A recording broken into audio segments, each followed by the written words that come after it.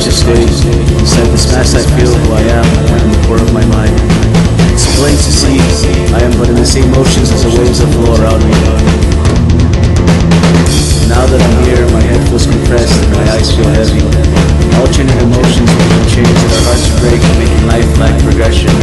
It's frustrating how these stacks pile up and it keeps me down. Any moment now,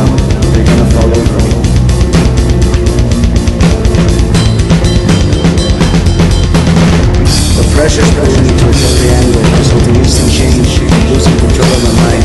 I can't focus with the choices I make. It always seems to go for the worst. The agony confines,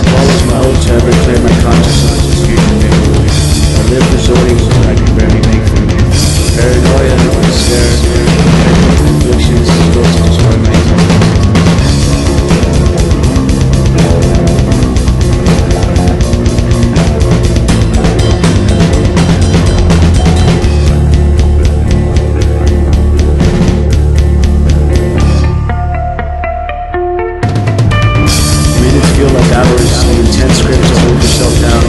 Fear of unspeakable measures you choose of sorrow is the only thing to do.